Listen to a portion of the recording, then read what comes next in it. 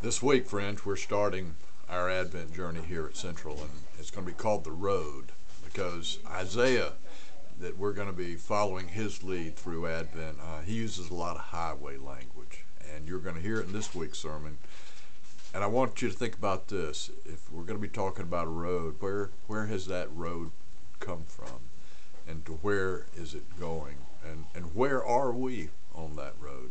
I look forward to having this conversation with you Sunday.